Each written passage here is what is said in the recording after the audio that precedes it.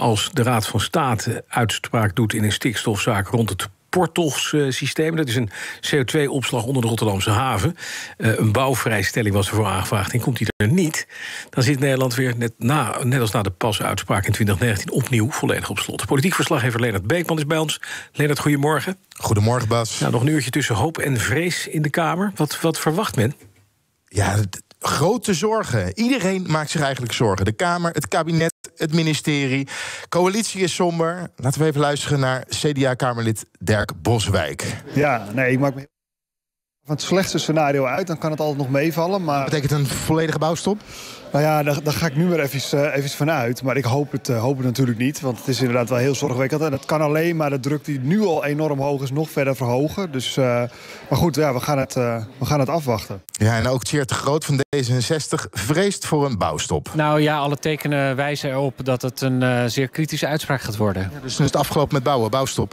Nou, er zijn natuurlijk wel al vergunningen verleend op dit moment. En die kunnen ook gewoon ja, verder worden volgebouwd. Um, maar het is inderdaad zorgwekkend dat uh, eigenlijk de, alle mogelijkheden die uh, het kabinet nog zag om uh, ja, toch te bouwen, dat die ook in de toekomst wel worden afgesloten nu. Is er stikstofruimte nodig? Dan is er stikstofruimte nodig. Dan kan je pas weer bouwen. En dat betekent dus dat je de maatregelen die uh, op de plank liggen... versneld en uh, ja, vol moet gaan uitvoeren. Ja, niemand, Bas, houdt er hier rekening mee... dat dit met een sisser gaat aflopen. Nee, dat denk ik ook. Tien uur weten we meer. En inderdaad, komen in dat scenario van die bouwvrijstelling... dat die afgenomen wordt, dan ja, moet je dus ergens anders gaan compenseren. Dat betekent dus dat het Rijk als een gek uh, boeren moet gaan uitkopen. Hè? Die, die, die pasmelders. Maar die, die, dat is niet leuk, want die dachten dat ze vooraan stonden... in het herverdelen van de boeren die dan overblijven.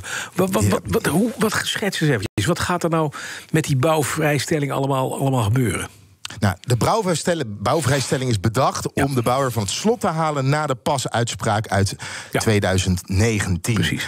Economische schade van die pasuitspraak is overigens al opgelopen tot zo'n 28 miljard euro. Mm -hmm. nou, de bouwvrijstelling kwam er in 2021, is die uiteindelijk door de Eerste en Tweede Kamer gekomen. Ja. En uh, het idee was, bij de bouw komt er weinig stikstof vrij. En daardoor mochten ze verder zonder een ecologisch onderzoek of stikstofbeperkende maatregelen. De Raad van State heeft daar toen al van gezegd. Ze hebben gewaarschuwd.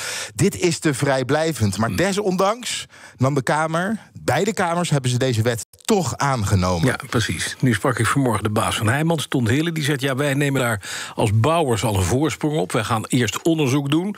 Onderzoek of uh, in hoeverre er uitstoot is. En daar laten we dan, uh, kijken we dan of die bouwvergunning verkregen kan worden. Maar los van het feit dat je dat doet... en de vergunde zaken zijn al vergund... maar alles wat nog op de rol stond, zoals dat Portos-verhaal... ja, dat komt dus nu inderdaad in, uh, in, op losse schroeven te staan... als die bouwvrijstelling wordt, wordt afgeknald door, door de Raad van State, begrijp ik? Ja, zeker. Ja, het gaat vandaag dus over Portos ja. in Rotterdam. Uh, bij de haven willen ze CO2 afvangen en opbergen onder de Noordzee. Goed voor het klimaat, zeggen de initiatiefnemers. Ja. Nou, Johan Vollenbroek van Mobilization for Environment is het daar niet mee eens. En hij heeft de zaak dus aangespannen bij de Raad van State. Ja. Hij zegt tijdens de bouw komt er veel te veel stikstof vrij. En hij, hij zegt ook, ja, dat afvangen en opbergen van CO2... dat is speculatieve techniek. En hij heeft er helemaal geen vertrouwen in. Hm. En er zijn ook vele miljoenen subsidie bij. Uh, er zitten daarbij. En daar ja. uh, verzet hij zich ook tegen. Ja, en hij krijgt over het algemeen, Bas, krijgt hij gelijk. Ja. Hij spant zaak na zaak aan. Ja. En elke keer krijgt hij weer gelijk. Ja, en het gevolg hiervan kan dus zijn... als Portos afgeschoten wordt... Ja, dan heb je een soort jurisprudentie... Voor alle toekomstige vergunningverleningen. Ja. ja, en dan is het afgelopen met de bouw. Tja, met dank aan meneer Vollenbroek. Wat verwacht je van de uitspraak? Want het kan drie kanten uit, hè, grosso modo. Drie scenario's. Nou, de bouwvrijstelling blijft overeind. Zeer onwaarschijnlijk, hebben we het net al over gehad. Een voorlopige bouwstop. Nou, dan, ligt, zijn we weer terug bij af. Hè. Net zoals na de, de, pasuitspraak. Precies. Ja, en dan is er een tussenweg. En dan zouden rechters die zouden eisen dat er aanvullende maatregelen worden genomen. En dan moet de overheid echt aantonen, en ook mensen die willen gaan bouwen, projecten hebben, dat er voldaan wordt aan het terugdringen van stikstofneerslag in de buurt van die Natura 2000 gebied. Dus kortom, ja. dat er daadwerkelijk natuurherstel plaatsvindt ja. en niet verslechtering. Nou, ik zie meneer Vollebroek alweer de, de poeplap trekken om in het derde scenario te zeggen. nou, dat mag ook niet. Maar oké, dit terzijde. Het slechtste scenario, inderdaad, hè, dus zoals we weten, als die bouwvergunning wordt ingestoken, uh, bouwvrijstelling wordt ingetrokken, dan gaat het gewoon plat. Want dat betekent dus uh, een precedentenwerking op nog eens uh, heel wat andere uh, bouwprojecten. Bijvoorbeeld ja, zijn... die ambitie van Hugo de Jonge, onze ja, minister van Wonen. 900.000 woningen moeten er de komende ja. tijd gaan komen.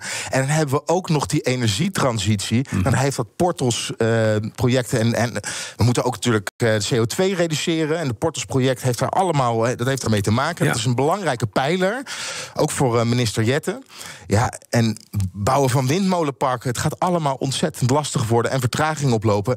Ook als die tussenweg er komt. Want uh, dan zal er eerst aangetoond moeten worden dat de natuur niet verslechtert. Ja, en dan uh, loop je een hoop vertraging op. Het gaat allemaal ontzettend lastig worden. Het is een belangrijke nou, dag vandaag. Ja, en die Raad van State heeft dus wat dat betreft inderdaad de troefkaart in handen.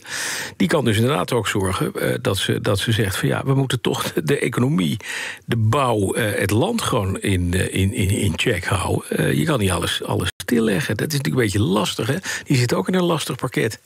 Ja, je hoort achter de schermen ook wel dat de Raad van State... om weer helemaal naar een bouwstop toe te gaan. Dus echt te zeggen, we halen die bouwvrijstelling helemaal van tafel af.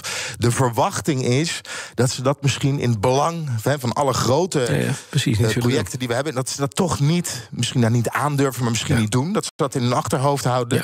Maar nogmaals, die tussenweg zal ook weer tot een hoop vertraging gaan leiden. nog even naar die pasmelders, ik duid er even op. Hè. Boeren uh, die, uh, die onteigend worden om anderen weer te vergunnen. Bedrijven die dus uh, niet die, die, enorme druk hebben op, op, op stikstofdepositie. Dat systeem was er. Die zou voorop worden gesteld hè, bij het vergunnen van, van dat soort zaken.